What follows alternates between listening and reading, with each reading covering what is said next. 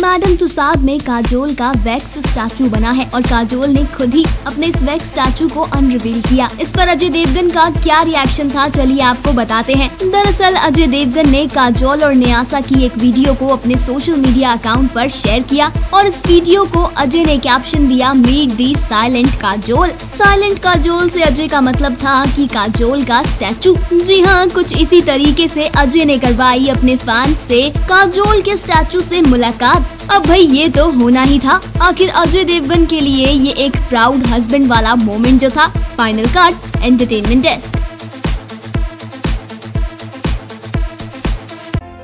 subscribe our channel for more updates.